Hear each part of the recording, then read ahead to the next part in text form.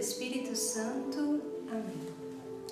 Irmãos e irmãs, neste oitavo dia da novena, somos convidados a refletir sobre o tema O Monte nos escritos de São João da Cruz. Certa vez, com um grupo de jovens, fomos fazer uma caminhada na montanha. Chegou a um certo ponto, o sacerdote que estava conduzindo errou a estrada e nós andamos, andamos, andamos e começava a vir uma certa ânsia porque não sabíamos aonde chegar.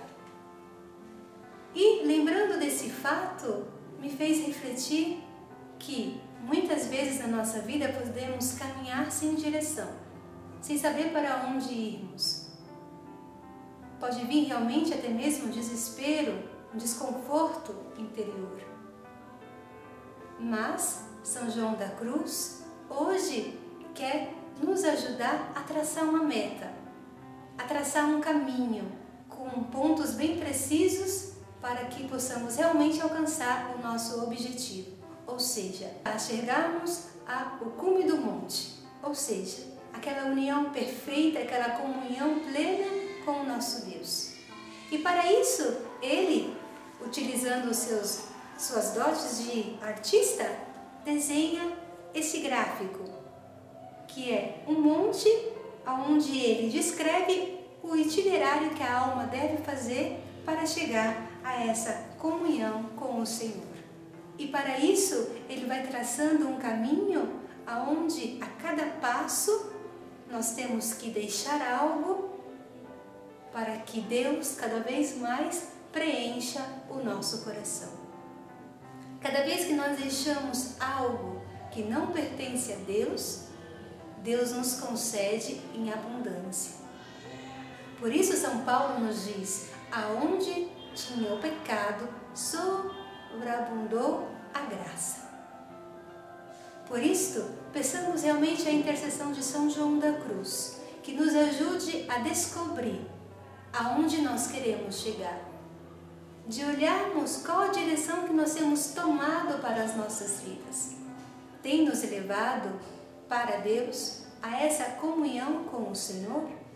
Ou temos nos perdidos em tantas estradas, em tantos caminhos que nos têm afastado do nosso Deus?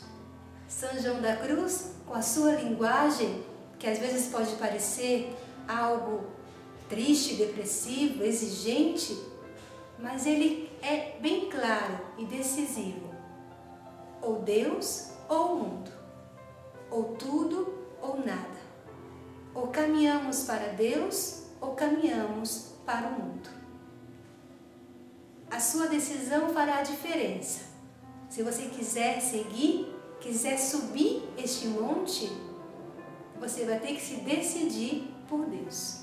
Se você tem essa coragem, tem esse desejo, então nada melhor do que ler as obras de São João da Cruz. Ali ele vai explicar, vai te dizer, vai conduzir os seus passos a essa comunhão com o Senhor.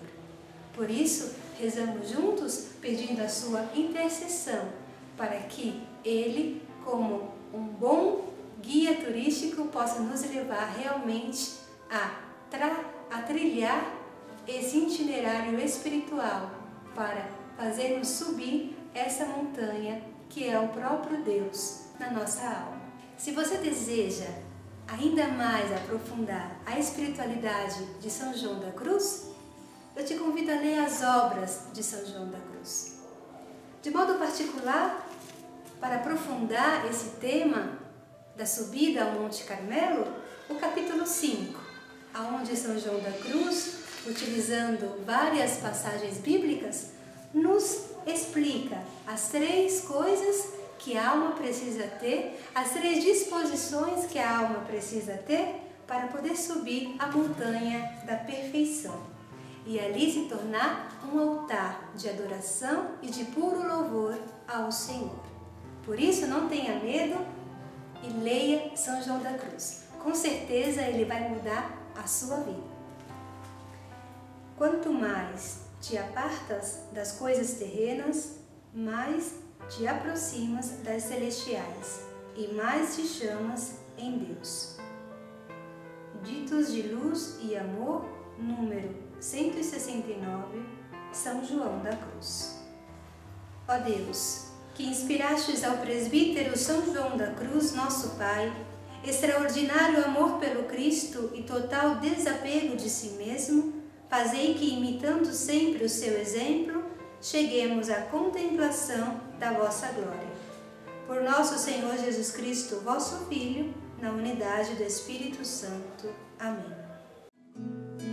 Para chegar ao cume do Monte Carmelo, é preciso percorrer novos caminhos para vir a saber